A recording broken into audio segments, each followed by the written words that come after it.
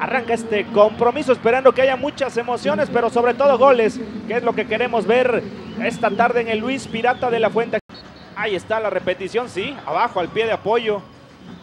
Aquí va a venir el servicio precisamente del protagonista Yutono con su número 23. Hace una finta, mete el servicio de pierna izquierda al manchón penal, el cabezazo.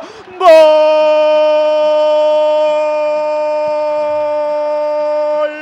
De los toros.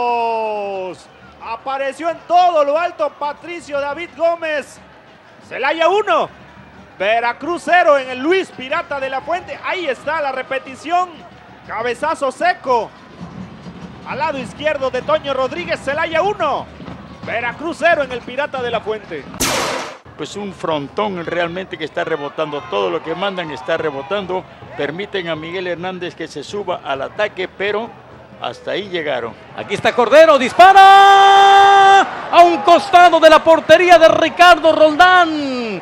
La intentó el señor Cordero, Mauro. Y lo hace hacia atrás. Ingresando aquí para que venga ahora. Cuidado, sale el arquero.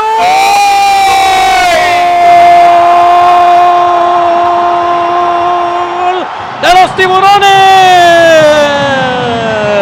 Sobre el límite del partido, viendo en la entrada de Néstor Holguín, entregando la pelota para que el remate fuera en el corazón del área, perforando la cabaña de Ricardo Roldán. Salió precipitado el arquero del equipo de Celaya, abrió el zaguán, Mauro, se empató el partido. Pues celebró la banca de Veracruz como si estuviera ganando el partido. Es salió Toño Rodríguez desde su meta a celebrar con Daniel Guzmán y no sé qué tanta responsabilidad tenga el arquero de Toros de Celaya por ese gol del Tito Ferro. Bueno, Ferro hizo su labor. El que salió mal fue Ricardo Roldán. Dejó desguarnecida la portería. Vino el empate al minuto 49.